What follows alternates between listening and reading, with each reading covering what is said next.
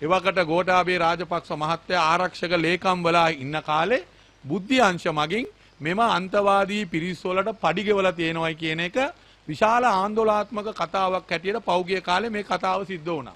මේක මහින්ද රාජපක්ෂ මහත්තයා ප්‍රතික්ෂේප කරෙත් නැහැ.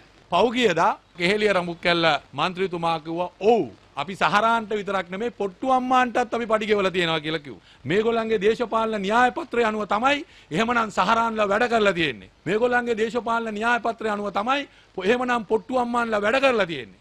ඒ හින්දා මහින්ද රාජපක්ෂ මහත්තයයි ගෝඨාභය රාජපක්ෂ මහත්තයයි මේ ගැන පැහැදිලි ප්‍රකාශයක් කරන්න ඕනේ.